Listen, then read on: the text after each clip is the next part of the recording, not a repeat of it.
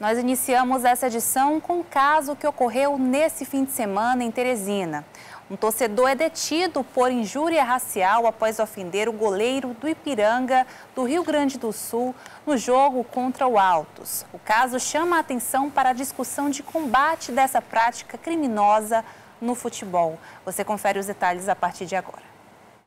Mesmo com dezenas de câmeras e microfones na direção do gramado e da arquibancada, atos racistas dentro dos estádios de futebol têm acontecido com frequência. Durante uma partida do Campeonato Brasileiro da Série C entre Altos do Piauí e Ipiranga do Rio Grande do Sul, no estádio Lindolfo Monteiro, em Teresina, um torcedor foi detido por injúria racial. Ainda no início do primeiro tempo, o goleiro Kaique do Ipiranga pediu para que a partida fosse interrompida e acionou a arbitragem para relatar os atos racistas.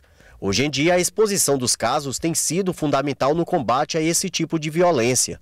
Após a partida, o goleiro, um membro da comissão técnica do Ipiranga e testemunhas foram até a central de flagrantes de Teresina para os procedimentos necessários. Você vê um racista desse assim, eu, eu com isso, né? Então, assim, que ele possa tomar uma lição, que possa aprender, né? Porque a gente está no Nordeste, um ambiente que é mais de população negra, é complicado. Você vai registrar o boletim, Kaique? Ah, tem que registrar para aprender, né, cara? Este advogado explica a relação dos casos de injúria racial e de racismo e fala sobre as leis direcionadas aos crimes. Nós tínhamos uma lei, uma lei 7.716 de 89, que trata sobre o racismo, e o Supremo Tribunal Federal, através do HC 154-248, ele equiparou, né, de forma, através de entendimento, de jurisprudência, que os crimes que tratavam de injúria racial, eles eram equiparados ao racismo. O racismo, ele trata-se de algo coletivo, para um grupo de pessoas, né, todos os negros, né, todo, todo,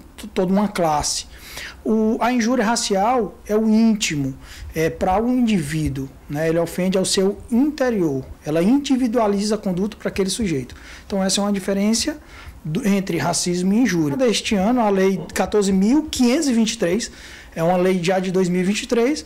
O Luiz Inácio, o presidente Luiz Inácio, ele equiparou a injúria racial ao racismo. O autor das ofensas racistas contra o goleiro Kaique ainda foi preso aqui no estádio Lindolfo Monteiro, em Teresina. Ele foi preso em flagrante e solto em audiência de custódia. O homem ficará durante seis meses sem frequentar os estádios de futebol. O que nós temos que ter é uma política pública, nós temos que ter um, um fortalecimento social em que o jovem, o sujeito, a população deixe de ser machista, deixe de ser preconceituosa, em que a população possa temer, inclusive, da aplicação legal.